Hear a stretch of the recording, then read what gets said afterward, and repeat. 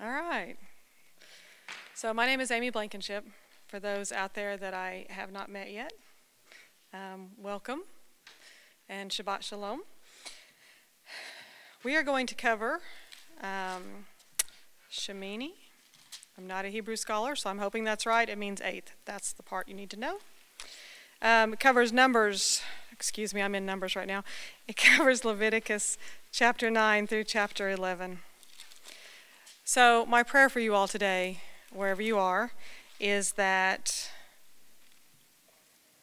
you have moments today, at the very least, where you are experiencing whatever it is that God wants to give you today.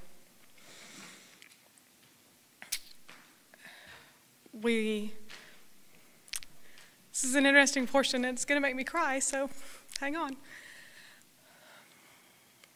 we like to say Shabbat Shalom, and we like to um, assume that everybody is experiencing the peace of the Sabbath because we have set this day aside and we're resting in our homes or whatever a Sabbath looks like to you.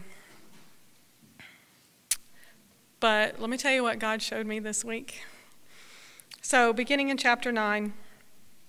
It came to pass on the eighth day that Moses called Aaron and his sons and the elders of Israel. Now, this is the eighth day because for the past seven days, Moses has had Aaron um, and his sons in the tabernacle consecrated, set apart from everybody else, um, so that they're dealing with whatever they got to deal with so that they can be focused completely on God um, when it's their time to step in. So, this is the eighth day. Aaron's getting ready to come out of the tabernacle and step into his role as high priest. And because I only have 10 minutes, we're going to, well, this is, it's important that you read the whole thing. We're going to skip to the part that I want to talk about. when, um, so Moses goes through, this is what you need to do, and you need to bring your own offering first, um, and then the people's offering. But here in verse 6, then Moses said, This is the thing which the Lord commanded you to do, and the glory of the Lord will appear to you. This was going in another direction when I left the house this morning, but this is what he's been talking to me about for the last 20 minutes. So I'm not a Hebrew scholar, but I understand that this phrase, the glory of the Lord will appear to you, in Hebrew in the tense that it's in, it says that he's coming. There's not a do your checklist, and if you do it right, he'll show up. Or if he has time today, he'll drop in on you. This is a the Lord is coming. So you need to do whatever it is that you're supposed to do because you need to be prepared for him coming. It's not it's not the checklist so that he'll come. It's you do it because he is coming. So the question he asked me was Are you prepared to receive me today? And my immediate response is, Of course I am, because when would I not want to be in the presence of the Lord? But am I prepared to receive him? Have I done what he has asked me to do? If I have set apart everything else from the week and just kept my Sabbath holy so that he can enter in and I can be with him? Or have I let other things creep in? Am I dependent on his grace, which is abundant? but am I counting on his grace because I didn't get stuff done that I should have done? Which takes us to the next part.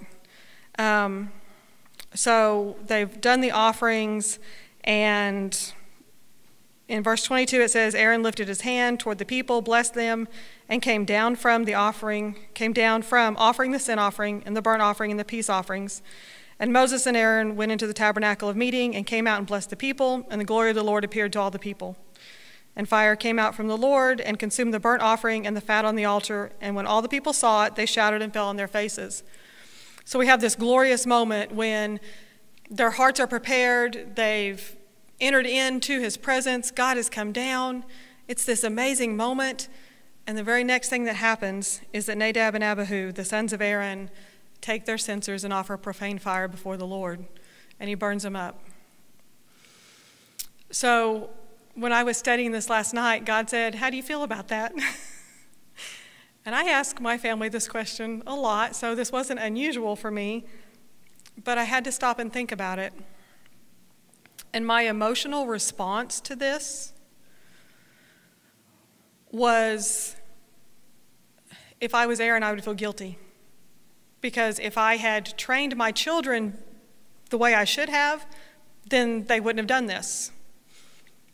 And I'm not saying that that's what happened. I'm saying this was my emotional response. This was filtered through my baggage. So I feel guilty because his children, he didn't train his children like he should have. And then the next feeling I have is, well, this isn't fair because his heart has just been broken. He's just watched his two sons die. He's probably feeling guilty about it, and he can't even go mourn them. And so my heart was just broken in that moment. And God said, this next question to me was, What's wrong with your perception of this? Well, okay, there's probably a ton of things wrong with my perception of this, but I had taken my eyes off of God, off of why why he asked Aaron to hold his peace at this time, why he needed Aaron not to leave the tabernacle. Because this story isn't about me and it's not about Aaron, it's about God. And it says in verse chapter 10, verse 3, um, the Lord spoke to, or Moses spoke to Aaron, and this is what the Lord spoke, saying, By those who come near me I must be regarded as holy, and before all the people I must be glorified.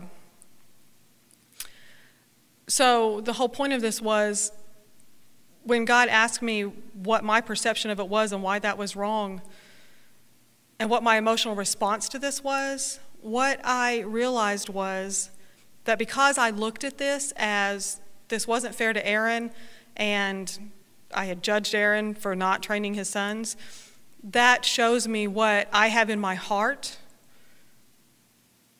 that comes between God and I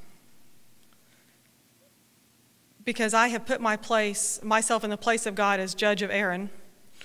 And I have said that Aaron should be guilty, even, those, these, even though these were adult sons, even though they're responsible for their own actions. I had set myself as judge over Aaron. Um, but also, I count, I judged God as being unfair in this situation. So I can reason out, I can look at this, I can reason out why this is about God and it's not about Aaron, and, and I can walk through all of that in a logical manner. But what do I do with those emotions, that emotional response that I have had to this? Because if I just tuck it away and tamp it down, eventually it's going to come back out. And probably not in a good way, but at the very least, what it's going to do is blur my perception of God, and it's going to keep me I'm going to be holding back from Him. So we took these emotions out. Okay, God, this is what I felt. And I recognize that I was wrong, but I need to tell you that this was my response to you. And you know what? God is big enough to handle that. And He's true enough and holy enough to correct my perception and to allow me to clean that emotion out of my heart and open up that gateway for Him that I had blocked. But if I hadn't asked myself the question, how do I feel about this? What's my emotional response? I would have read this. I would have acknowledged that if you come before the Lord, you need to do it as holy. He needs to be regarded as holy. I'd have stated all of that, and I would have never addressed what I was holding between He and I. So, to go back to the first thing I said about um, are you ready for God? Have you done everything you need to do for God to meet with you today because He's coming? If I have followed my checklist for Shabbat, if I have prepared everything, and my house is clean, and my dishes are done, and my food is prepared, but my heart still has something against Him, then what I receive from God today is not going to be the fullness of what He wants for me it's going to be limited to what I will allow in.